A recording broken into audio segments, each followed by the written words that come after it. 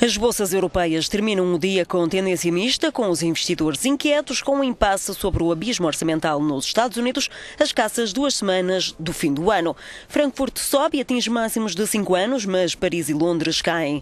Lisboa fecha em alta ligeira graças aos ganhos de mais de 6% da Zone Multimédia, face às notícias de fusão da Ótimos com a Zone.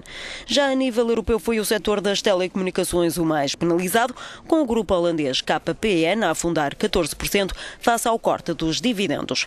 O euro esteve em dia de quedas num dólar e 31, já o petróleo cai em Londres e sobe em Nova York. Em Londres, o barril de Brent vale 108 dólares.